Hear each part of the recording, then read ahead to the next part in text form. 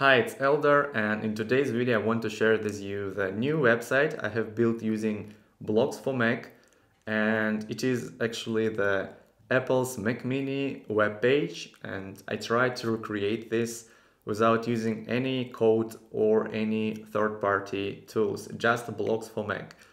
And obviously I don't own the copyright for the images or content so if you download this page, this template, please do not use all of the content and images in your project because I don't own the any of the rights for that.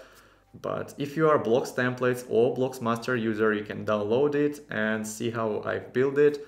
And you can replace the text and images and use it for your project. So let's see first the Apple's website and then I will show you what kind of website I was able to create using Blocs.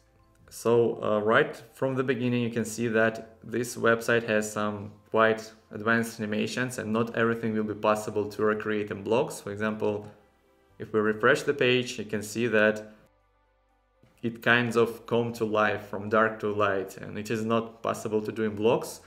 Of course, we can kind of uh, set the background video and do the similar effect, but at the end of the day, I think that using the still image will be much better for our project. So, and you can see we have this sliding in feature and we have the bigger sections, this Mac Mini body in the center and text on both sides. And if we scroll down, we have this beautiful flowing air and we have some other similar sections. Next, uh, we have this section and I did not recreate this section because, well, even though I think it's possible using the tabbed content breaking Blocs, it will take too much time and effort to do that. And the point is, uh, right after this block, we have another block, this uh, tabs, this one, and as you can see it has the similar tab design. So I've built I have recreated this one. So I didn't want to create two different blocks using the same brick so let's take a look at what kind of website I was able to recreate and if we go here you can see that the welcome screen is quite similar of course I don't have the same menu and everything but I have the same transparent sliding in navigation all the buttons, all the text is quite similar. And I have this beautiful features, sliding features effect as well as Apple. And I have the Mac Mini body, there's the text on both sides. So I think it looks great. And I even have this flowing air animation. And I've done that using the parallax effect. So if you want to learn how to do that, I will show that in Mastering Blocs update for February. So stay tuned for that.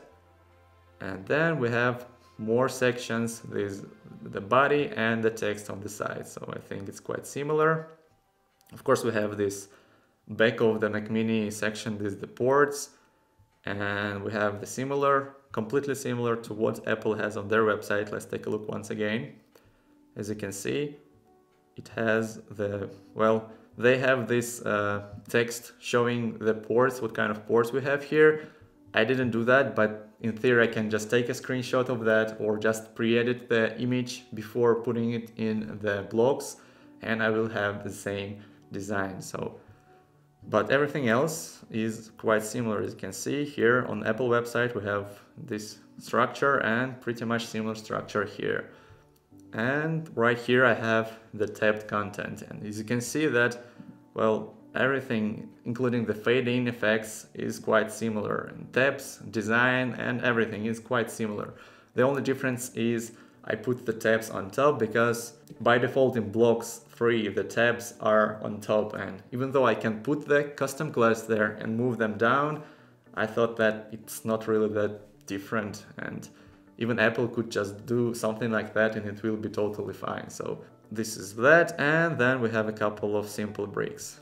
It's quite nice to be able to create website like this without knowing any code. And well it's maybe 90% similar to what Apple have done with their website.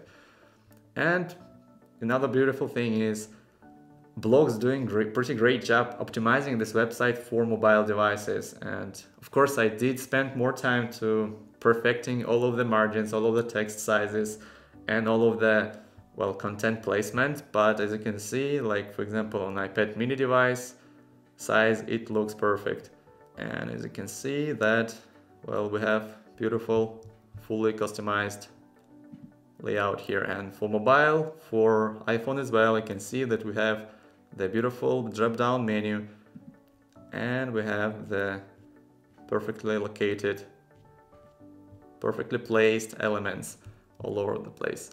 So if you are Blocs templates or Blocs master user you can download this template this uh, project files for free so if you want to use it in your project please replace the images and content because I don't own them use the structures and just learn how it's done in Blocs. and if you have any questions about, about this website or Blocs in general, please let me know and I will do my best to help you. So thank you for watching this video. I will talk to you in the next video, probably next week. So take care.